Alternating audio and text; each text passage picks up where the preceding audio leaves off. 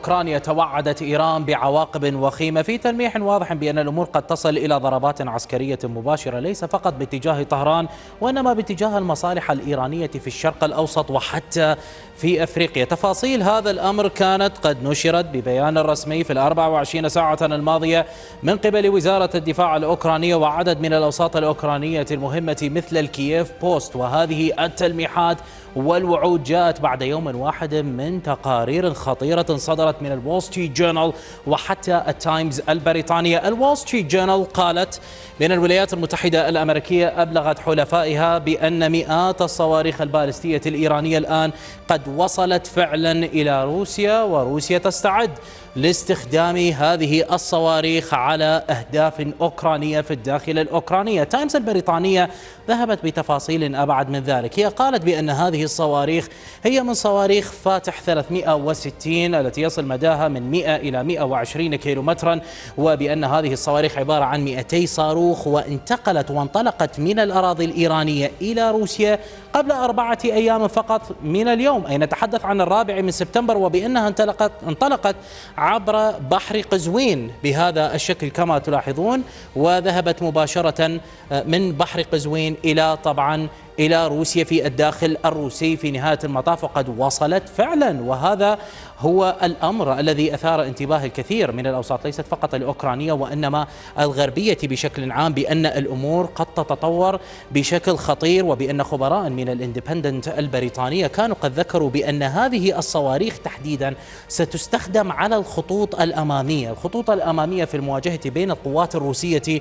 والقوات الأوكرانية. أيضا على سبيل المثال القوات الأوكرانية المتواجدة في دانيتسك وفي زاباروجيا وحتى على مستوى خيرسون وكذلك فيما تبقى من لوغانسك وأن هذه الصواريخ من الممكن أن تستخدم على العديد من المواقع المهمة مثل المواقع العسكرية الأوكرانية مراكز القيادة أو مواقع أو المواقع اللوجستية التي تمد هؤلاء المقاتلين في عملية القتال ضد القوات الروسية.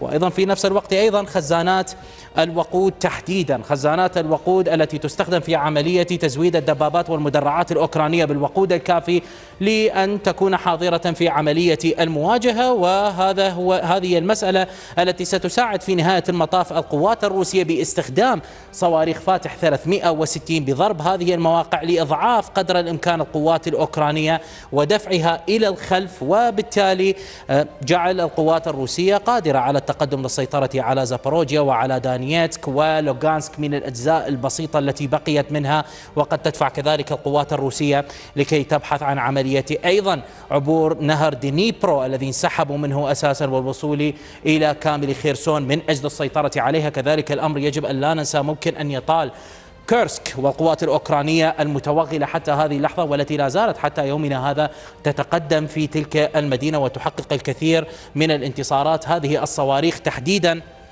ممكن أن تستخدم على وجود القوات الأوكرانية في كورسك وكذلك في النقاط أو المواقع التي تعتبر نقاط اللوجستية في عملية دعم هذه القوات للاستمرار في التواجد في كورسك أو حتى في التوسع في كورسك. بالتالي ضرب هذه الخطوط الخلفية إرهاق واستنزاف القوات الأوكرانية في كورسك. ستكون مهمة هذه الصواريخ الإيرانية تحديدا وروسيا تريد الاستفادة في حقيقة الأمر من الصواريخ الإيرانية وكذلك من صواريخ كوريا الشمالية التي تسلمتها في المواجهات الداخلية مع أوكرانيا والإبقاء على ترسانتها الصاروخية المهمة للغاية للمهام الأصعب. على سبيل المثال في توجيه الضربات على مراكز القيادة والمواقع المهمة والحساسة الموجودة في العاصمة الأوكرانية كييف وكذلك الحفاظ على الترسانة الروسية لما هو أهم بكثير من كل شيء ألا وهو توسع الصراع مع حلف الناتو. في حالة الأمور تصاعدت فإن روسيا تحافظ على الكثير من ترسانتها وتستخدم الصواريخ الإيرانية رخيصة الثمن وكذلك أيضا القادمة من كوريا الشمالية في مثل هذا الصراع والحفاظ على ترسانتها المهمة للغاية. وهذا هو الأمر الذي دفع في نهاية المطاف أوكرانيا أن تتحدث عن طريق وزارة الدفاع الأوكرانية. أن تقول ببساطة بأن هذه آه، الأمور ستؤدي إلى عواقب وخيمة في العلاقات الثنائية بين البلدين بين أوكرانيا وبين إيران. وسبق لأوكرانيا عن طريق العديد العديد من المسؤولين هددت بشكل مباشر إيران بأنها ستضرب إيران بشكل مباشر بسبب أن إيران زودت أوكرانيا بالعديد أو زودت عفوا روسيا بالعديد من الطائرات المسيرة من طائرات يشاهد 136 المفخخة التي تحولت إلى سلاح استراتيجي مهم بالنسبة لروسيا في الحرب ضد أوكرانيا. وهذه آه، المسألة أيضا قد ظهرت من قبل أوكرانيا بشكل رسمي برسالة قد أرسلتها أوكرانيا إلى G 7 هذه الرسالة كانت مكونة بحسب The Guardian في سبتمبر من العام الماضي مكونة من 47 صفحة طلبت من خلال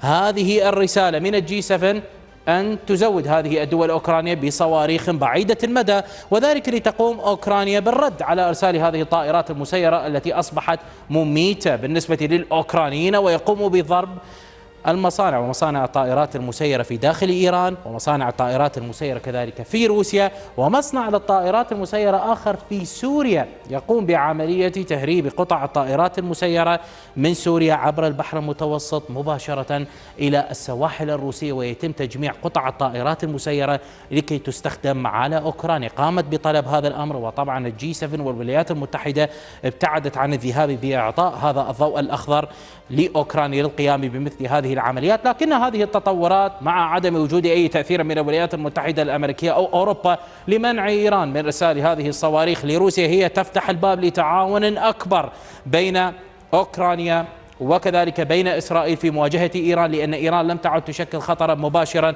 على إسرائيل فقط وإنما بدأت تشكل خطرا استراتيجيا مهما على الأوكرانيين الذي الذين أبدوا قلقهم منذ العام الماضي بأن الصواريخ الإيرانية ستشكل خطرا كبيرا على منظوماتهم.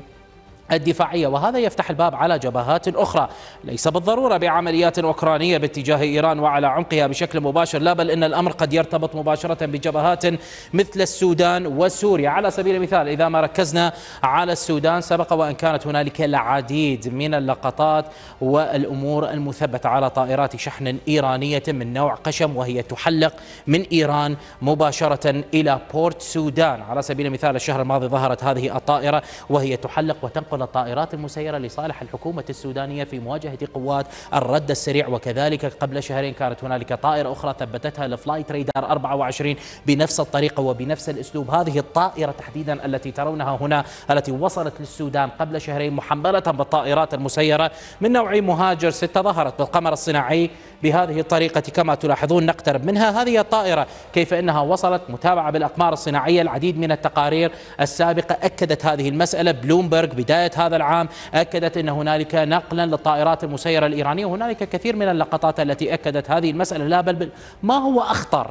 هو ما صدر خلال هذا العام أيضا من قبل الكييف بوست بشكل حصري عن وجود عمل كبير من قبل القوات الخاصة الأوكرانية داخل السودان ونقلوا لقطات كما تلاحظون في فبراير من هذا العام للقوات الخاصة الأوكرانية داخل السودان وهي تقوم بعمليات ضد قوات فاغنر الروسية التي أيضا تعمل في داخل السودان فتحوا جبهة ضدهم. هذا يوضح أن القوات الخاصة الأوكرانية لا تعمل فقط ضد روسيا ضمن الحدود التي تأتي بين أوكرانيا وبين روسيا لا أبدا بل هي في السودان وهذه أكدتها أيضا مصادر أمريكية وغربية مهمة مثل السي ان ان الأمريكية وأيضا في نفس الوقت بعد ذلك أو قبل ذلك في شهر يناير. كما تلاحظون أيضا ال Kyiv Post بلقطات حصرية أكدت مسألة أخرى وجديدة إلى أن القوات الخاصة الأوكرانية تعمل أيضا في سوريا ونقلوا هذه اللقطات الحصرية للقوات الخاصة الأوكرانية. تقاتل مع المعارضة السورية ضد القوات الروسية التي تدعم أساسا النظام السوري بشار الأسد